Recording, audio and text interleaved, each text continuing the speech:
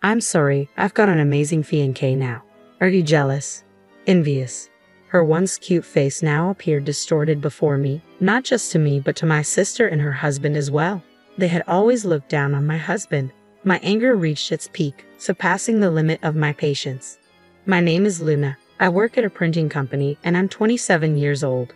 Although I work with printing, I'm not operating large machines. I work in the design department, crafting various flyers and catalogs while listening to customer requests. Recently, with the advancement of stylization, the number of prints has decreased, but the design work remains busy and rewarding.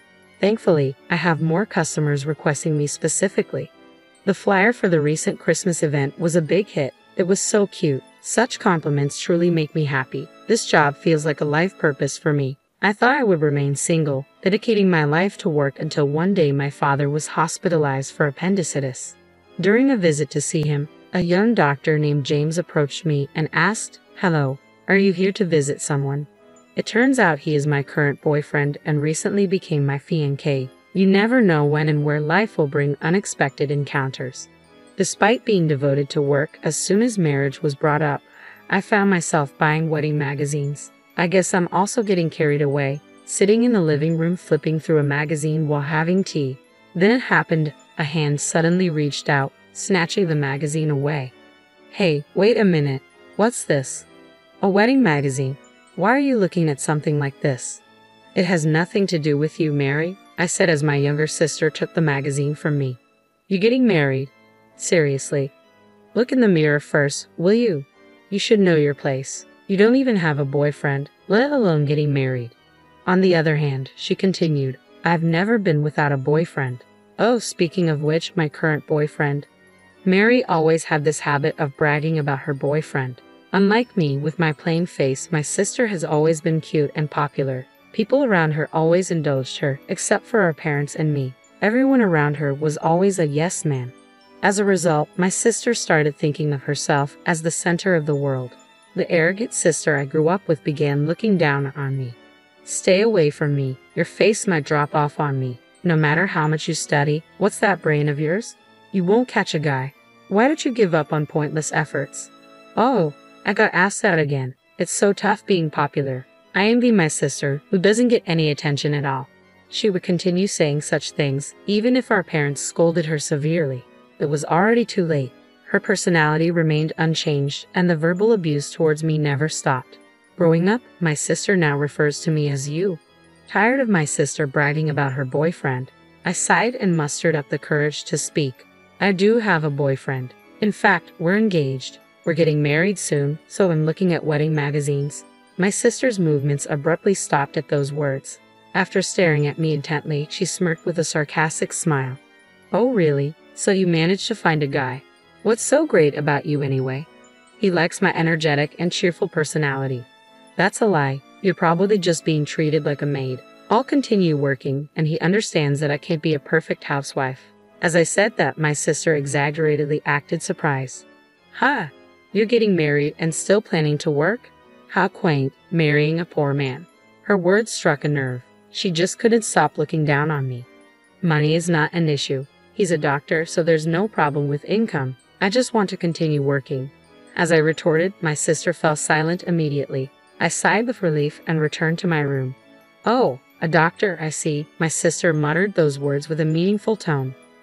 When marriage is on the table, the first thing to do is to meet with our parents. James came to my house. After greeting my parents, the relaxed atmosphere instantly changed the moment my sister appeared. Oh, is that the person you're engaged to? Quite handsome, isn't he, Mary? Weren't you out? I interjected. Of course, when my sister's fiancé is coming, I had to cancel my plans. Unbeknownst to her, I was relieved that she wasn't there by chance. It was because I had a bad feeling about it. It had happened several times in the past. When I was still a student, my sister stole my boyfriend. After becoming a working adult, I didn't have a boyfriend, and my sister kept making one after another, so such a thing didn't occur again. Although I felt uneasy about my sister coming back, she had grown up as well. I wanted to believe that she wouldn't do something like stealing my fiancé. My sister was oddly close to my fiancé. I couldn't help but notice a blush on James's cheeks.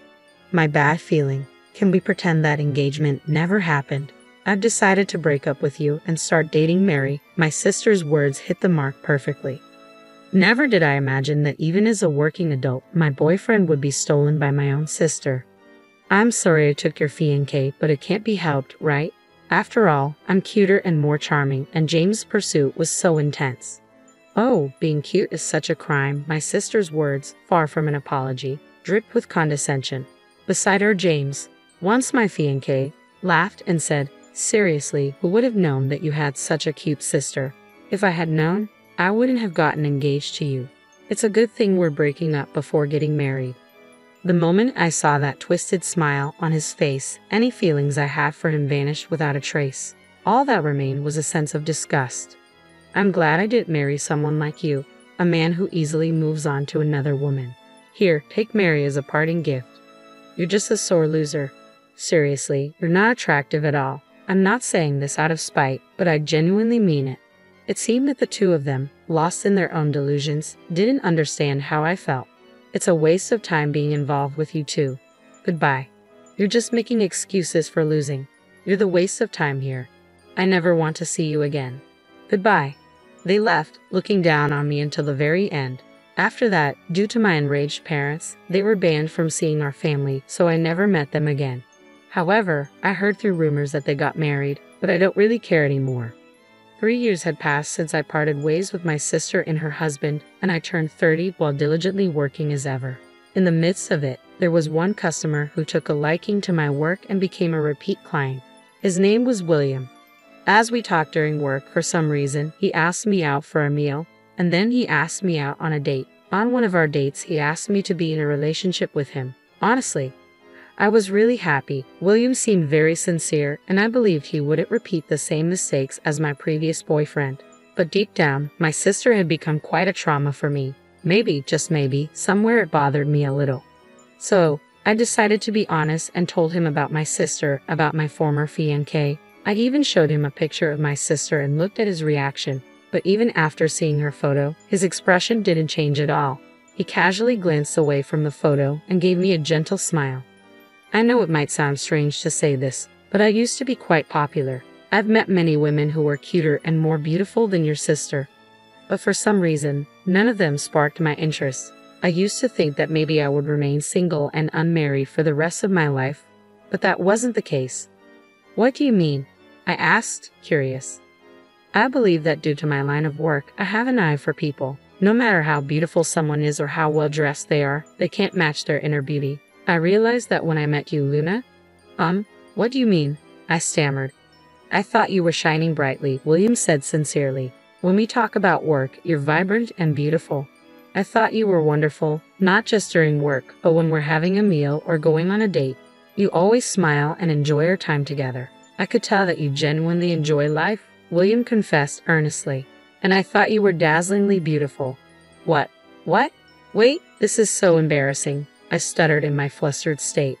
But William continued, undeterred, Luna, you're beautiful, more beautiful and charming than anyone else. I've never met a more wonderful woman than you. Please consider being in a relationship with me with marriage as a possibility. I truly mean it from the bottom of my heart.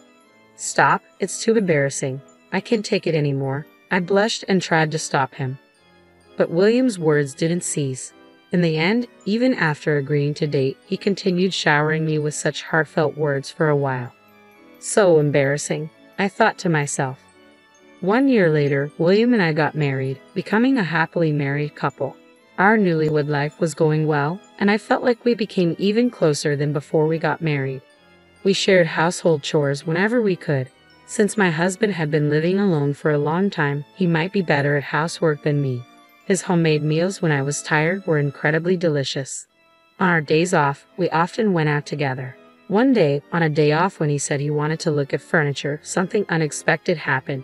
It was the reunion with the devil that felt like a nightmare. Oh, well, I thought as I saw a plain looking woman. It's you. I heard a voice from behind as I was looking at the bedding section. I didn't need to see her face to know who it was, even though four years had passed since we last met. There was no way I could forget her. Mary, my sister, stood there, and beside her was my former fiancé, James. My sister's features seemed sharper than before. Was it due to age, or had her personality simply come to the forefront? Standing beside her, James wore a smirk, though it seemed he had lost weight. Meeting you here, huh? What are you doing? My sister asked, her tone dripping with condescension. Nothing special. I just came to look at furniture, I replied evenly. This place has a lot of imported goods and is expensive, you know. It's not a place for someone like you. I'm tired of your condescending attitude, James chimed in, stating beside her. Exactly. If someone like you keeps coming and going, it will lower the store's value. We might be mistaken for being poor too. Just go home already. Their rude remarks irritated me, but engaging with them would be a waste of time. I maintained my silence. However, it seemed my attitude didn't sit well with them as my sister and her husband's voices grew louder. I hate it. Our precious high-end store is ruined. Why would such poor people come here? They can't afford anything anyway. That's right, that's right. Poor people. Go home, they continued loudly. Other customers and store employees glanced at us, wondering what was going on. Fed up, I took my husband's hand and tried to leave, but he didn't move. Finally, noticing my husband's presence, my sister and her husband looked at him. Oh, what are you to her? My sister asked, her eyes widening. Luna's husband. Ha, can you marry this plain girl? Seriously, you're brave, James scoffed. Did you need a housemate or something? That's hilarious. I also do housework. It's only natural since we both work. I'm living comfortably as a full-time housewife. More than half of my week is spent eating out, and I rely on housekeeping services. I explained calmly. Sorry for being part of the winning team, my sister retorted with a sarcastic tone, stretching her words, which only fueled my frustration. She grinned at me. Sorry I stole your wonderful fiancé. Thanks to that, you'll have a poor life even after marriage, right? And to top it off, you're marrying such a plain guy. You two are a perfect match, both plain and unremarkable. Aren't you envious of my happiness? Jealous, aren't you? Haha, marrying a man who can't support his wife is just like you. You'll struggle for the rest of your life, losers. I had reached my limit. I could bear it when they spoke ill of me, but to speak ill of my husband as well, there was no way I could tolerate it. Listen, that's enough. I finally spoke up. Luna, it's fine. My husband stepped forward in front of me. Nice to meet you. I'm William, the one who married your sister. What a lame name, my sister sneered. Well, I understand, William replied calmly, handing his business card to James. As James took the offered card, my husband glanced at my sister-in-law. You say really mean things to Luna, don't you? Because they're true. I'm just abiding by the law that says I can call an ugly woman ugly. That's my law, my sister fired back. Such a law doesn't exist. And for me, you're much uglier than you think, William retorted calmly but firmly. Let's say it's the ugliness of your character. You seem to have confidence in your appearance, but you don't realize that your twisted personality, which can only look down on others, is reflected on the outside. While his tone remained polite, his words were quite harsh. My sister's face quickly turned bright red. Don't mess with me. How am I ugly? Everything about you is. In the first place, beautiful people don't envy their sisters and steal their fiancés, William countered. What? When did I envy my sister? My sister protested. People aspire to get close to and surpass their admired figures. Isn't Luna such a figure for you? That's ridiculous, William concluded firmly. I was surprised, not just by my husband's words, but also by my sister's reaction. I had never considered it that way before. My sister had always looked down on me, but seeing her unsettled, I started to wonder if there was a possibility. If it's someone who doesn't matter, someone you don't care about, you can just ignore them. Even if Luna brings any kind of partner, you shouldn't have thought of taking them away. After all, they are not someone you found yourself. Taking someone else's position stems from jealousy towards something you can't obtain, no matter how hard you try, my husband calmly stated. I'm saying I'm not jealous, my sister retorted defensively. By taking something away, you want to have that confidence that you are superior to the other person, right? In other words, you lack confidence. Confident people can live proudly without doing such things. That's not true. My sister desperately refuted, but her voice gradually lost strength. Breaking the momentary silence, James suddenly shouted loudly with a pale face, This name. She alternated between looking at the business card and her husband's face, then shook her shoulders. What is it now? I asked. This name, I felt like I recognized it, so I looked it up. I looked it up and, how, William Brown. So what? She trailed off, her expression turning uncertain. Where I work, huh? Hospital. If I remember correctly, it's Brown Medical Corporation. A chairman and director, Dr. Brown. He's their son. Huh? What? Mary's voice faltered. It's a common surname, so it must be someone else, right? James interjected nervously. I've seen him come to the hospital a few times, together with the chairman. I saw them from a distance, as I didn't remember it well. But when I thought I had seen him somewhere, he's supposed to be a doctor, right? The company name on that business card. Huh, it doesn't mean that a doctor's son has to become a doctor. And this company, it's a super famous pharmaceutical company.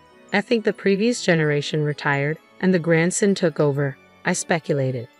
Hello, I'm that grandson, a voice interrupted. Mary and James panicked, and my husband bowed politely. What? What did you say? Mary gasped. Um, James faltered, his face pale. My husband calmly explained, I met Luna through the work I was doing until I took over my grandfather's job. I've heard about you, but it's beyond imagination how cruel you are. I interjected, my voice steady. Um, well, that, James stammered, shifting uncomfortably. My husband shifted his gaze from my speechless sister to James. A job of helping people requires empathy, but instead of showing empathy, you look down on and ridicule others. Who would want to be treated by a doctor like that? Oh, well, it's just a misunderstanding, James attempted to explain, his face growing even paler. However, in the next moment, my husband's eyes widened with anger. No need for excuses. I'll let my father know about you. Just wait for the consequences. James exclaimed, desperation evident in his voice, while my sister remained stunned. Ignoring their pleas, we turned our backs and left. I knew deep down that we would probably never see them again. With that thought in my heart, I continued walking, refusing to look back. After that incident, James didn't get fired, but he faced a significant pay cut and was removed from responsible tasks. His arrogant attitude towards others and his cold demeanor with patients led to him receiving cold stares from everyone around him. Eventually, unable to handle the situation, he quit his job, leaving under a cloud of rumors within the hospital community, which made it difficult for him to find new employment. He struggled with unemployment in the aftermath. As for my sister, it was revealed that she had always been reckless with money. Despite her high salary, her life became increasingly challenging. This stress visibly affected James, who began to look emaciated rather than just thin. In response to his pay cut, my sister quickly decided to divorce him, believing she could easily find another man. However, things didn't go as planned.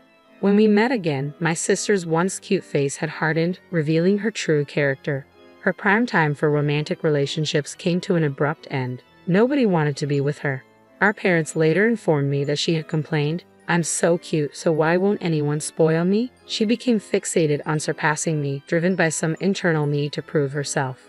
My husband speculated that deep down, my sister actually admired me, though her actions were unforgivable. Eventually, she faced the consequences of her own choices, even being rejected by her parents when she sought their help.